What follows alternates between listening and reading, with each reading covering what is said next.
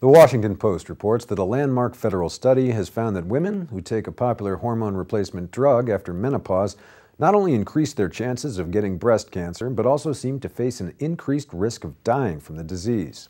The study of more than 12,000 women who were followed for about 11 years produced powerful evidence that deaths from breast cancer were more common among hormone users, apparently because their cancers had already started to spread.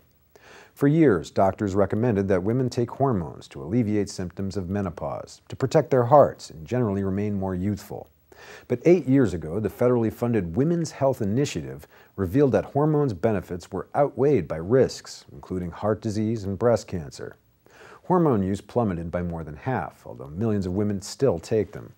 The new analysis by the Women's Health Initiative, published in the Journal of the American Medical Association, found that women who took the combination of estrogen and progestin sold as Prempro were more likely to have tumors that appeared to be larger, were often hard to treat, and were more likely to have spread to their lymph nodes. But most important, their risk of death appeared elevated. Coupled with research published last year that found that women who took hormones were about 70% more likely to die from lung cancer, the new findings underscore the risks posed by therapy.